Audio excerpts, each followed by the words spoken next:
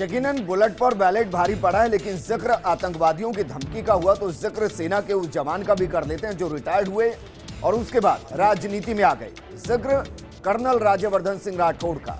जयपुर ग्रामीण सीट से वो नामांकन दाखिल करने पहुँचे। नामांकन दाखिल करने के दौरान उन्होंने एक नजीर पेश की।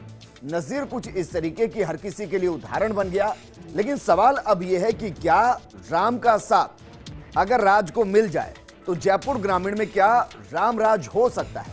मेरा मतलब यहाँ पर बाबा रामदेव से है और राज्यवर्धन सिंह राठौड़। दोनों ने अनूठी मिसालें पेश की और इस दौरान क्या कुछ खास रहा? ये रिपोर्ट देखिए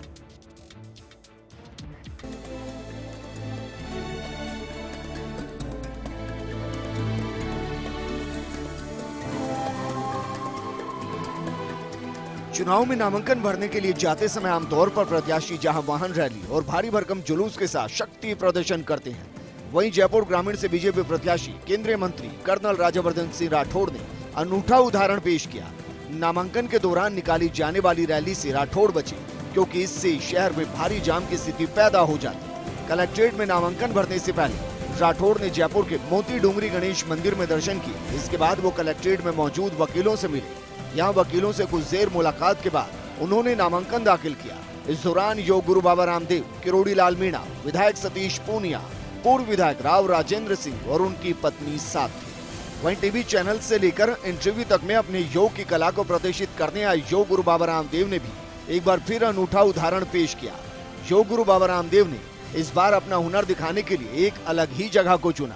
चुनावी माहौल का बाबा रामदेव पर इतना असर देखने को मिला कि उन्होंने जयपुर ग्रामीण से बीजेपी प्रत्याशी, केंद्रीय मंत्री कर्नल राज्यवर्धन सिंह राठौड़ के नामांकन के दौरान रिटर्निंग अफसर के कमरे में ही तमाम लोगों और अधिकारियों के सामने अनुलोम विलोम करना शुरू कर दिया। बाबा रामदेव को योग करते देख यहाँ का माहौल एकदम बदल गया। दरअसल बीजेपी प्रत्याशी, केंद्रीय मंत्री कर्नल राज्यवर्धन सिंह राठौड़ के नामांकन के दौरान रिटर्निंग अफसर के दफ्तर पहुँचे। तो वहाँ उनके साथ बाबा रामदेव भी मौजूद थे। बाबा रामदेव ने राज्यवर्धन सिंह राठौड़ की जीत की कामना भी की। साथ ही उन्होंने प्रधानमंत्री नरेंद्र मोदी की भी जमकर तारीफ़ की।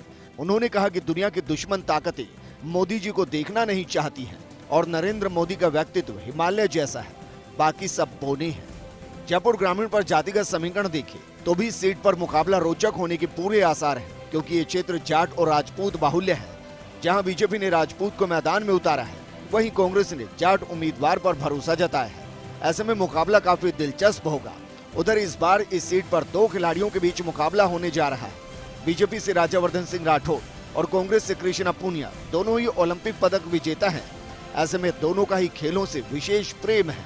इसी वजह से दोनों ही युवा वोटर्स को कहीं ना कहीं अपने पक्ष में मतदान के लिए प्रभावित करेंगे। ओलंपिक खिलाड़ियों के चुनावी युद्ध में अब योग गुरु बाबा रामदेव की पारंपरिक योग का तड़का भी लग चुका है। देखना दिलचस्प होगा कि अब कौन किसको शीर्षासन कराएगा। Bureau report first India news.